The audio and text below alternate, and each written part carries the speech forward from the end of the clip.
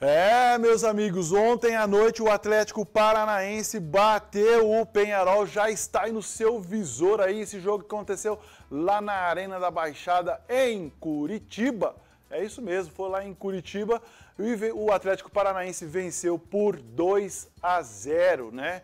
Ah não, diretor, esse aí eu acho que foi o jogo de ida. É, foi o jogo de que quando o Atlético Mineiro, o Atlético, o Atlético Paranaense venceu por 2 a 1, porque ontem o jogo aconteceu lá em Monumental no, Ur, no Uruguai não.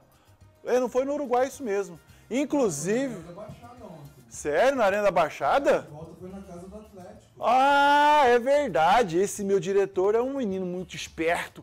Oh, desculpa então, viu, diretor? O senhor tá com a razão então. Então esse jogo foi ontem mesmo, foi na Arena da Baixada. Pode voltar para cá, viu, diretor? No... Ah, agora sim, Rosildo, funcionou. Ó, 2 a 1 Atlético Paranaense em cima do Penharol e a final acontece no dia 20 de novembro de 2021, quando teremos Atlético Paranaense jogando contra o Red Bull Bragantino, uma final 100% brasileira, o mesmo que aconteceu, uh, o mesmo que vai acontecer na Libertadores, uma final aí 100% brasileira vai entre Flamengo e Palmeiras, também no Uruguai.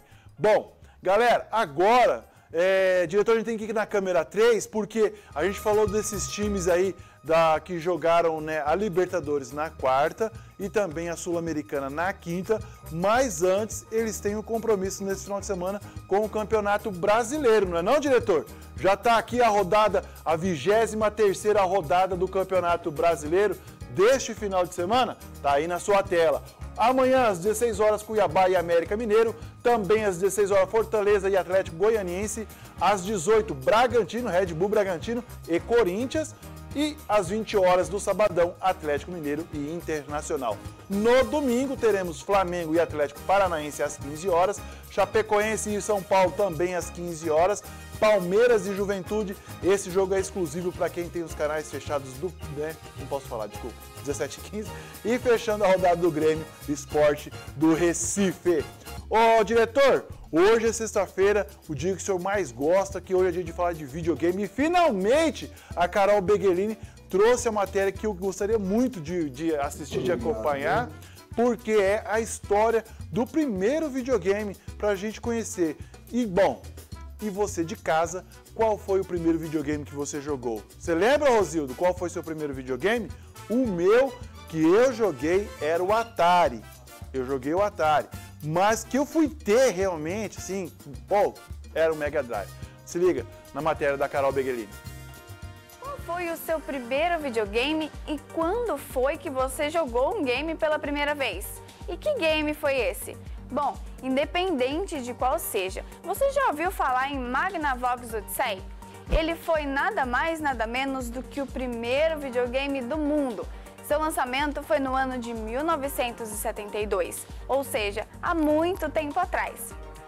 Ele foi o primeiro console e o sucesso dele é algo inacreditável. E o principal motivo é porque ele dava a possibilidade de ser algo integrado à TV. É óbvio que, por conta da tecnologia da época, suas limitações eram evidentes. Ele não era capaz de reproduzir sons e era compatível só com alguns modelos de TV. Mas como surgiu o Magnavox Odyssey?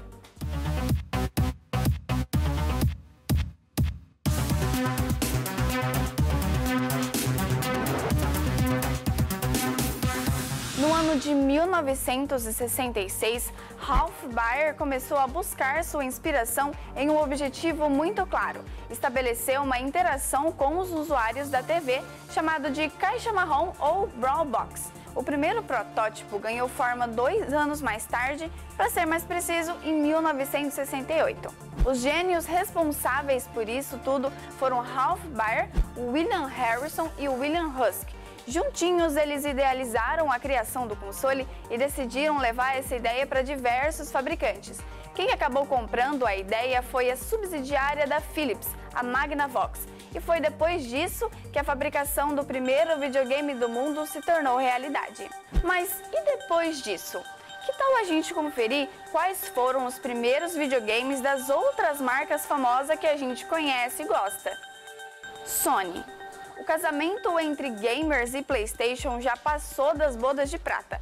No dia 3 de dezembro de 1994, o nome PlayStation era anunciado ao mundo. Os gráficos e sons eram incríveis e era superior a qualquer outra coisa que já tínhamos visto na época. Depois disso, veio o PlayStation 2 em 2000, PlayStation 3 em 2006 e por aí vai. Deixa pra gente entrar em detalhes em um episódio especial de PlayStation. Microsoft. A Microsoft não ia aceitar ficar para trás e trouxe o mais belo e incrível Xbox.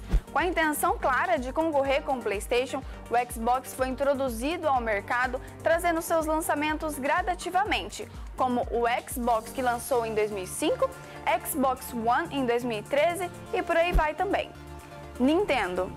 Não dá para desbravar o mundo dos games sem citar a formosura do Nintendo. Vamos ver quais foram eles.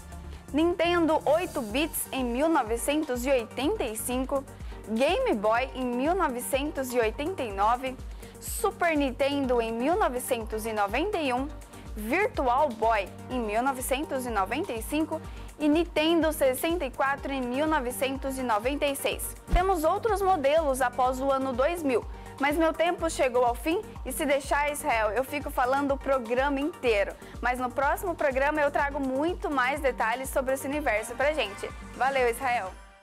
E se deixar, Carol, eu fico aqui até segunda-feira falando de esporte, porque a gente curte muito esporte e o videogame também é esporte. O que o senhor falou, diretor? Eu não deixo, mas eu Ah, tá. O diretor não deixa. Esse diretor. Ô, diretor, podia pagar um, um Burger King pra nós hoje, né? Puxa, falei Burger. Aí sim, hein? Ó, ó. Próximo bloco. Vamos falar de beach tênis, esporte do momento. Então segura aí.